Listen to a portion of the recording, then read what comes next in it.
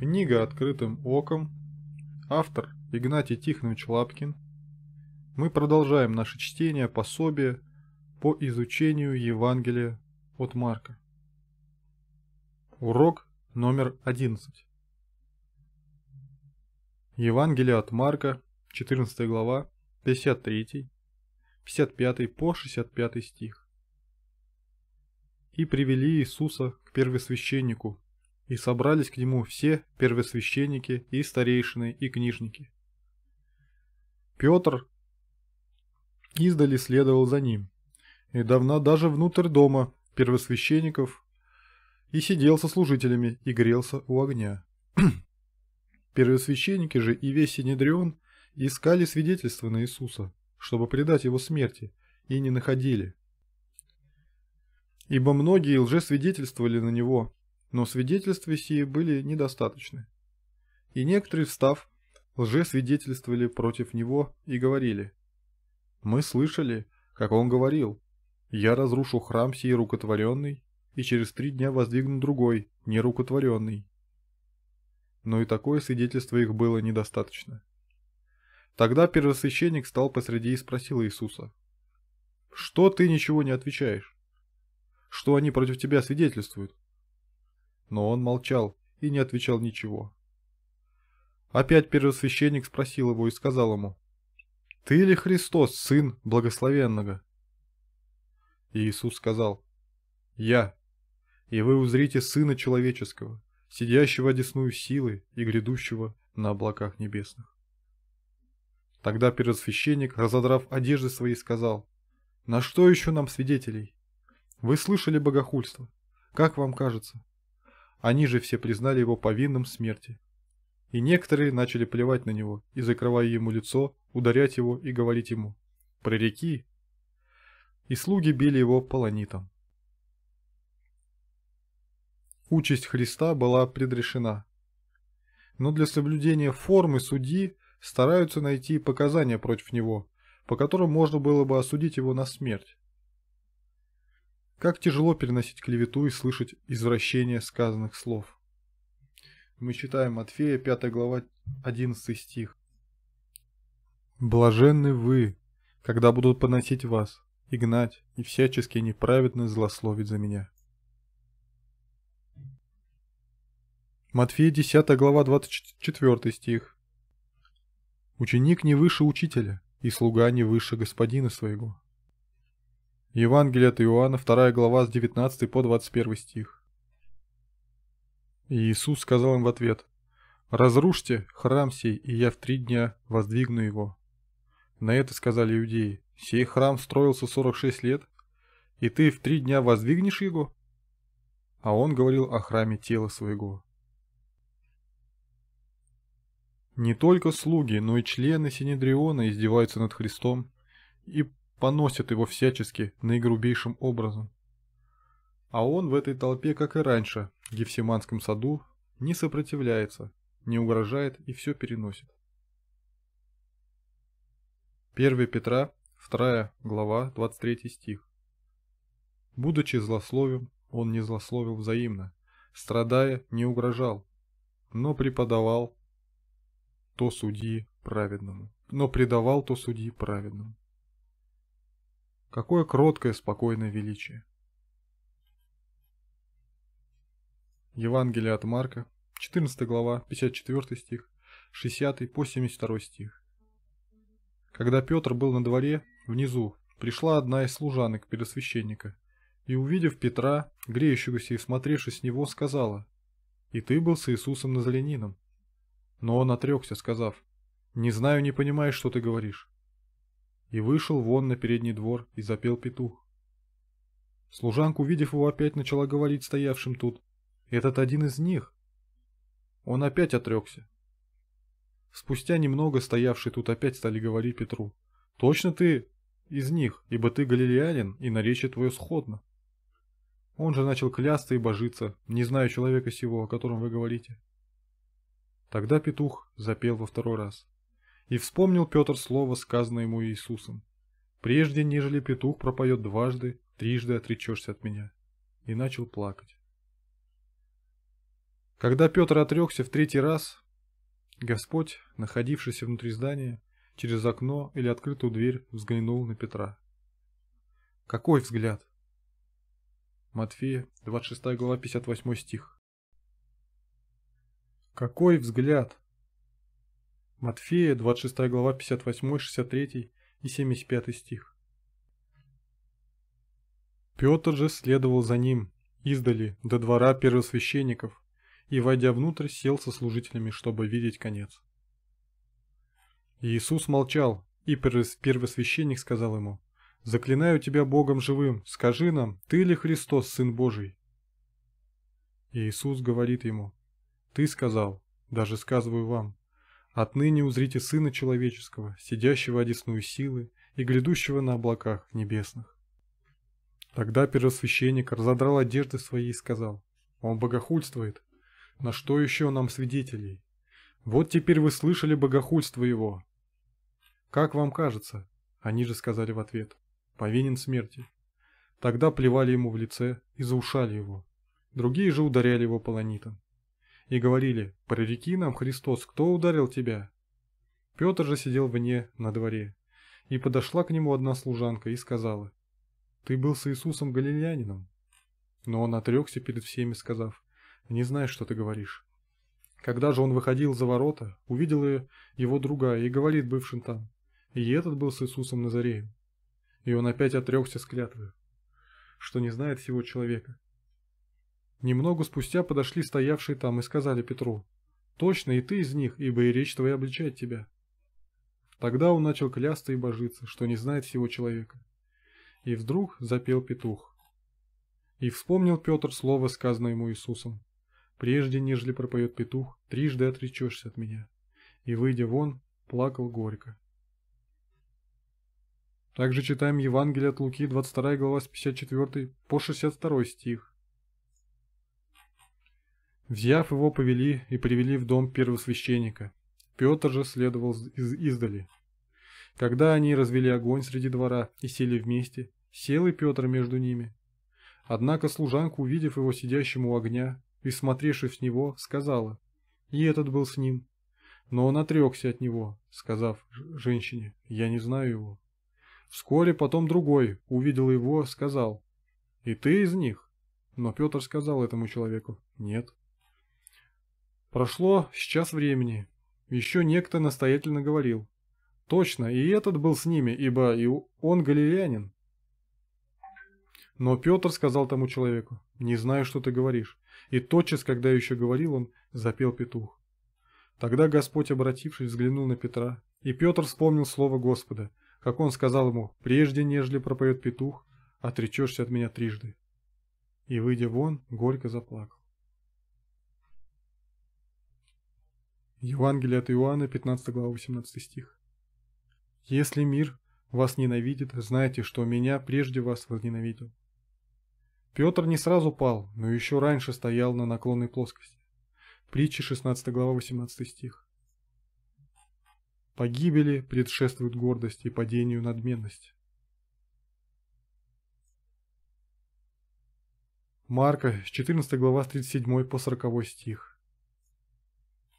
Возвращается и находит их спящими, и говорит Петру, «Симон, ты спишь? Не мог ты бодрствовать один час? Бодрствуйте и молитесь, чтобы не впасть в искушение. Дух бодр, плоть же немощна». И опять отойдя молился, сказав то же слово и, возвратившись опять, нашел их спящими, ибо глаза у них отяжелели, и они не знали, что ему отвечать. Петр следует издали, мы читаем в стихе 54. Петр издали следовал за ним, даже внутрь двора первосвященникова, и сидел со служителями и грелся у огня. Наконец он оказывается в таком обществе, где ему, как ученику Христа, не место. Псалом 1.1. Блажен муж, который не ходит на совет нечестивых, и не стоит на пути грешных, и не сидит в собрании развратителей. Не знакомо ли это кривая и многим из нас? В момент приближения искушения Петр не был ни открыто, не открыто решительно за, ни решительно против Христа. Он надеялся остаться в среднем, нейтральном положении, но это ему не удалось. Чему его, чего ему не хватало? Откровение 3 глава с 15 по 16 стих. Знаю твои дела, ты не холоден, не горяч. О, если бы ты был холоден или горяч. Но как ты тепл, а не горяч и не холоден, то извергну тебя из уст моих. А в каком положении мы? Петр согрешил непреднамеренно. Искушение пришло неожиданно и с неожиданной стороны. Когда ходишь невнимательно, можешь споткнуться и о камень. 1 Петра 5.9 Противостойте ему твердую веру, зная, что такие же страдания случаются и с братьями вашими в мире. Он пал вследствие своей бесхарактерности и нравственной трусости, как это часто бывает. Сидишь, например, в обществе с неверующими, неожиданно предлагают вопрос, требующий ответа, и запутались. Евангелие от Луки, 12 глава, 8 по 9 стих. Сказываю же вам, всякого, кто исповедует меня перед человеками, и Сын Человеческий исповедует перед ангелами Божьими. А кто отвергнется меня перед человеками, тот и отвержен будет перед ангелами Божьими. 2 Тимофея 2.12 Если терпим, то с ним и царствовать будем. Если терпим, то с ним и царствовать будем. Если отречемся, и он отречется от нас. Откровение 3.8 Зная твои дела, вот я отворил перед тобой дверь, и никто не может затворить ее. Ты немного имеешь силы и сохранил слово мое, и не отрекся имени моего. Галатам 1.10 У людей ли я ищу ныне благоволение или у Бога? Людям ли угождать стараюсь? Если бы я поныне угождал людям, то не был бы рабом Христовым. Сравните раскаяние Каина. Бытие, Бытие, 4 глава, с 13 по 14 стих. И сказал Каин Господу, наказание мое больше, нежели снести можно. Вот ты теперь сгоняешь меня с лица земли, и от лица твоего я скроюсь, и буду изгнанником и скитальцем на земле, и всякий, кто встретится со мною, убьет меня. Сравните с покаянием фараона. Исход 10 глава 6, 16, 17 20 стихи. Фараон поспешно призвал Моисея и Аарона и сказал, «Согрешил я перед Господом, Богом вашим и перед вами. Теперь простите грех мой еще раз и помолитесь Господу, Богу вашему, чтобы он только отвратил от меня сию смерть. Но Господь ожесточил сердце фараона, и он не отпустил сынов Израилевых. Покаяние Иуды. Матфея, 27 глава, с 3 по 5 стих. Тогда Иуда, предавшись его, увидел, что он осужден, и, раскаявшись, возвратил тридцать серебряников перед священником и старейшинам, говоря, Согрешил я, предав кровь невинную. Они же сказали ему, что нам до того, смотри сам. И бросив сребреники в храме, он вышел, пошел и удавился. Сравните с покаянием Давида. Псалом 50. Начальнику хора Псалом Давида, когда приходил к ним пророк Нафан после того, как Давид вошел к Версавии. Помилуй меня, Боже, по великой милости Твоей, и по множеству щедрот Твоих изгладь беззакония мои. Многократно омой меня от беззакония моего, и от греха моего очисти меня. Ибо беззаконие мое я сознаю, и грех мой всегда передо мною. Тебе, Тебе единому согрешил я, и лукавое пред очами Твоими сделал. Так что Ты праведен в приговоре Твоем и чист в суде Твоем. Вот я в беззаконии зачат, и во грехе родила меня мать моя. Вот ты возлюбил истину в сердце, и внутрь меня явил мне мудрость. Окропи меня, и сопом буду чист, и омой меня, и буду, буду более белее снега. И буду белее снега. Дай мне услышать радость и веселье, и возрадуются кости тобой сокрушенные. Отврати лицо твое от грехов моих, и изгладь все беззакония мои. Сердце чистое сотвори во мне, Божий, дух правый обнови внутри меня. Не отвергни меня от лица твоего, и духа твоего святого не отними от меня. Возврати мне радость спасения Твоего, и духом владычественным утверди меня. Научу беззаконных путям Твоим, и нечестивее к Тебе обратятся. Избавь меня от кровей, Боже, Боже, спасения моего, и язык мой восхвалит правду Твою.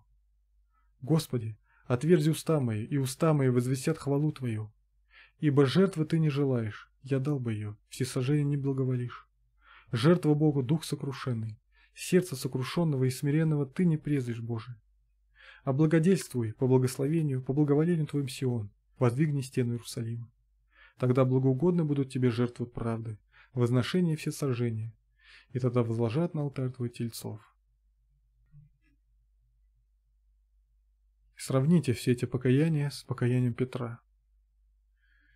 Одного сознания вины и сожаления о ней еще недостаточно. Евангелие от Марка, 15 глава, с 1 по 20 стих. Немедленно поутру первосвященники со старейшинами и книжниками и весь Синедрион составили совещание и, сказав, и связав Иисуса, отвели и предали его Пилату. Пилат спросил его, «Ты царь иудейский?» Он же сказал ему в ответ, «Ты говоришь». И первосвященники обвиняли его во многом. Пилат же опять спросил его, «Ты ничего не отвечаешь?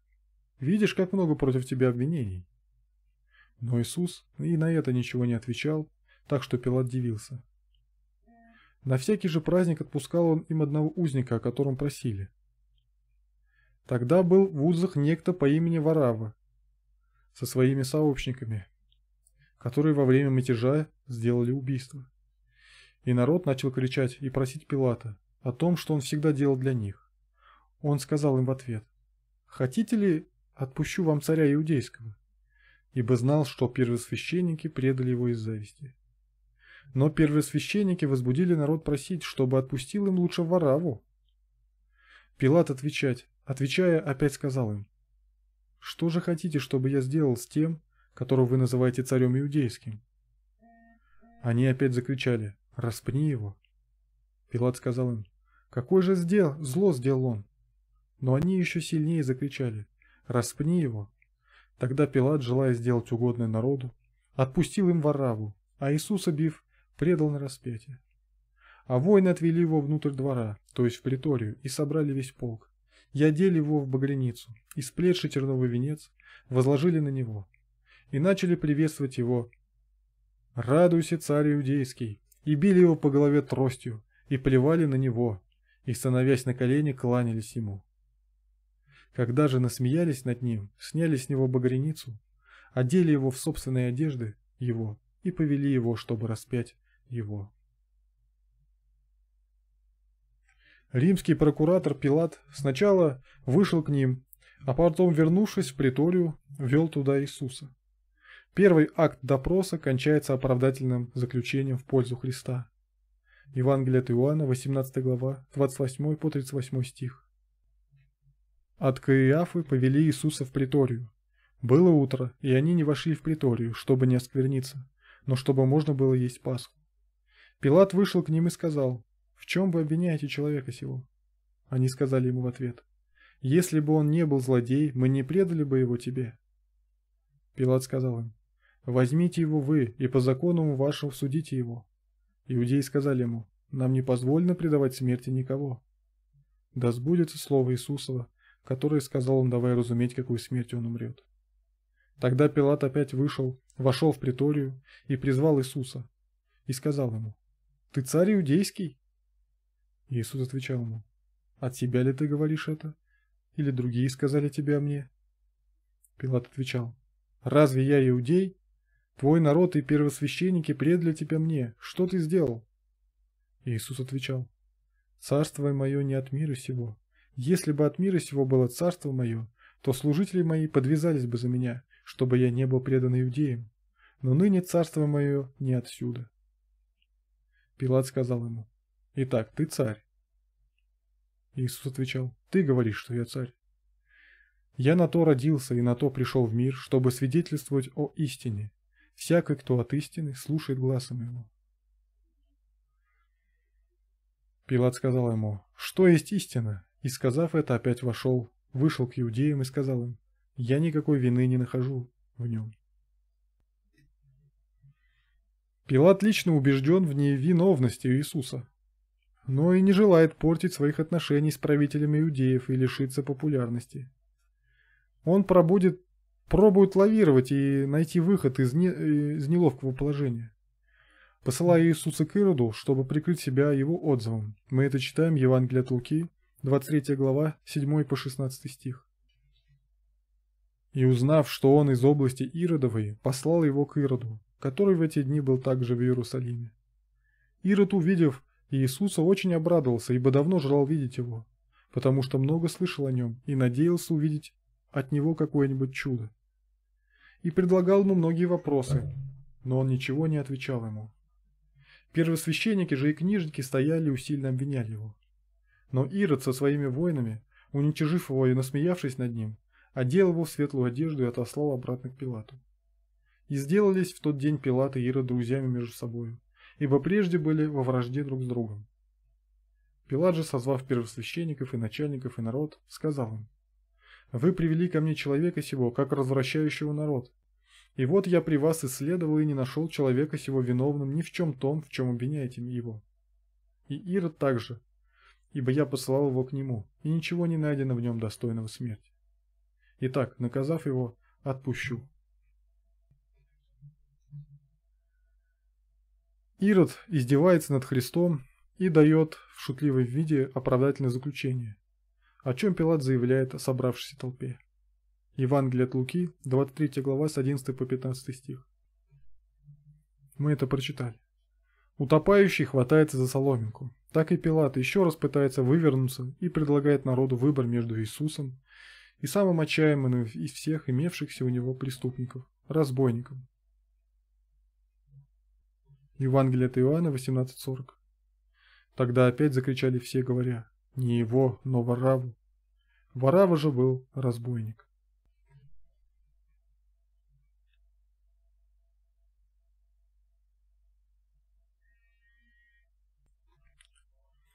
Убийцею Вараву он при... хотел прикрыться, надеясь хоть этим путем освободить Иисуса и выградить себя. В это же время жена Пилата посылает ему предостережение.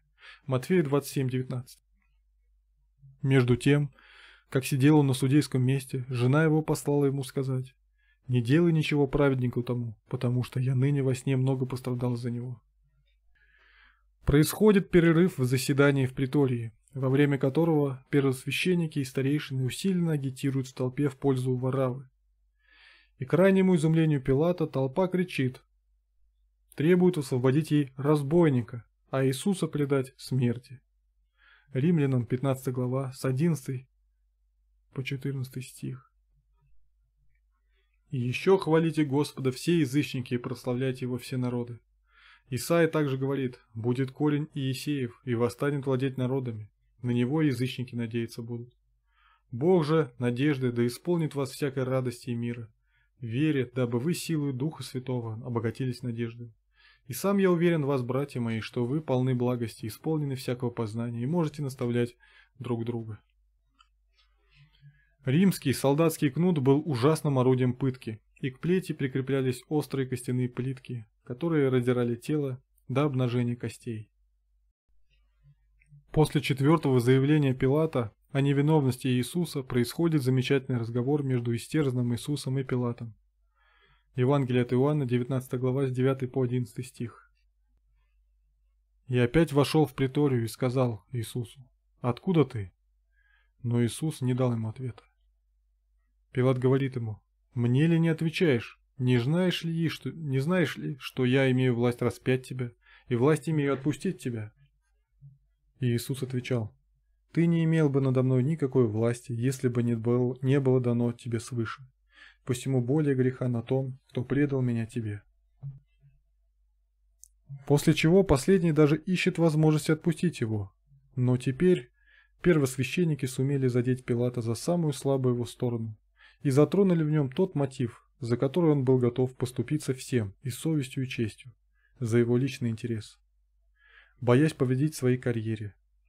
Евангелие от Иоанна 19.12 С того, с этого времени Пилат искал отпустить его. Иудеи же кричали, «Если отпустишь его, ты не друг кесарю, всякий делающий себя царем, противник кесарю». И желая угодить толпе, Марка 15.15. 15.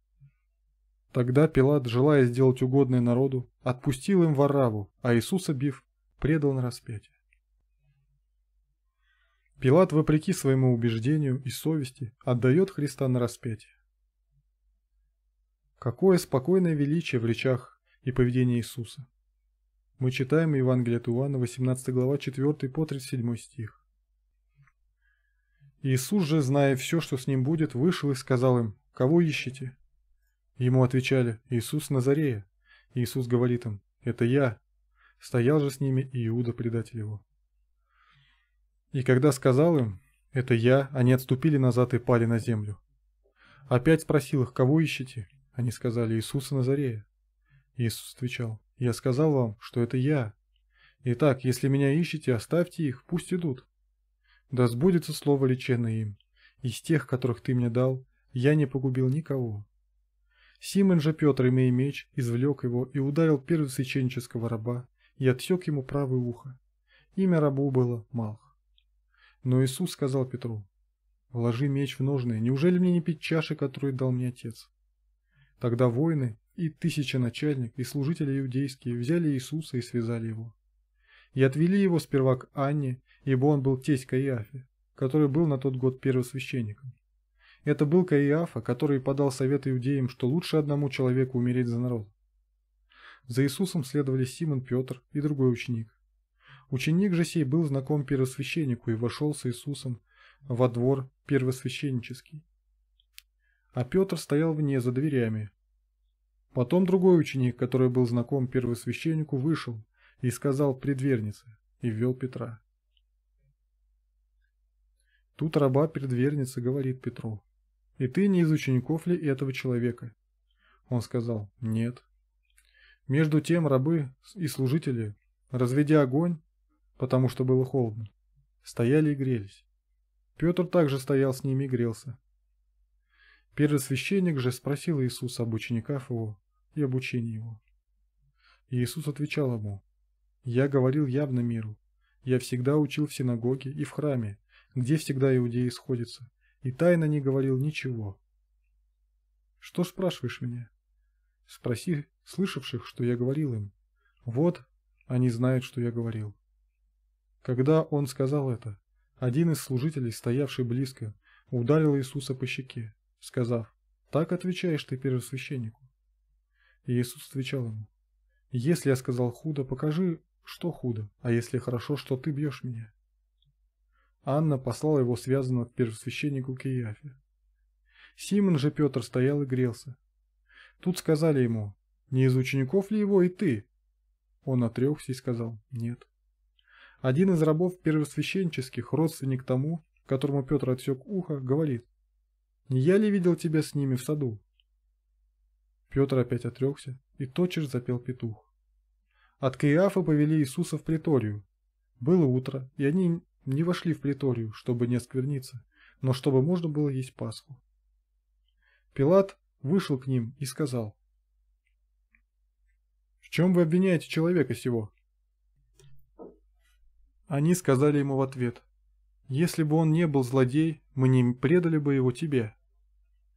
Пилат сказал им, «Возьмите его вы и по закону вашему судите его». Иудеи сказали ему, «Нам не позволено предавать смерти никого, да сбудется слово Иисусова, который сказал он, давая разуметь, какую смерть он умрет. Тогда Пилат опять вышел в приторию и призвал Иисуса и сказал ему, «Ты царь иудейский?» Иисус отвечал ему, «А тебя ли ты говоришь это, или другие сказали тебе мне?» Пилат отвечал, «Разве я иудей? Твой народ и первосвященники предали тебя мне. Что ты сделал?» Иисус отвечал, Царство мое не от мира сего. Если бы от мира сего было царство мое, то служители мои подвязались бы за меня, чтобы я не был предан иудеям. Но ныне царство мое не отсюда. Пилат сказал ему, «Итак, ты царь». Иисус отвечал, «Ты говоришь, что я царь. Я на то родился и на то пришел в мир, чтобы свидетельствовать о истине. Всякий, кто от истины, слушает гласа моего». Запомним, что никто не может повредить слуге Божьему без разрешения свыше. Евангелие от Иоанна, 19 глава, 11 стих. И Иисус отвечал, «Ты не имел бы надо мной никакой власти, если бы не было дано тебе свыше. Посему более греха на том, кто предал меня тебе». Дай Бог, чтобы никто из нас не оказался оппортунистом. Мы читаем Деяния, 18 глава, с 12 по 17 стих. Между тем, во время проконсульства Галилеона в Ахии, в Ахаи, Наполь, напали иудеи единодушно на Павла и привели его перед судилище, говоря, что он учит людей чтить Бога не по закону. Когда же Павел хотел открыть уста, Галион сказал иудеям, «Иудеи, если бы какая-нибудь была обида или злой умысел, то я имел бы причину выслушать вас. Но когда идет спор об учении и об именах и о законе вашем, то разбирайте сами, я не хочу быть судьей в этом. И прогнали их от судилища. А все елены, схватив Сосфена, начальника синагоги, били его перед судилищем, и Галион немало не беспокоился о том. Галатам, 1 глава 10 стих. У людей ли я ныне ищу благоволения, или у Бога? Людям ли угождать стараюсь? Если бы я поныне угождал людям, то не был бы рабом Христовым. Малейшая уступка может повлечь за собой глубочайшее падение. Не поступаться принципами из угождения перед людьми. Вот что нам надо запомнить.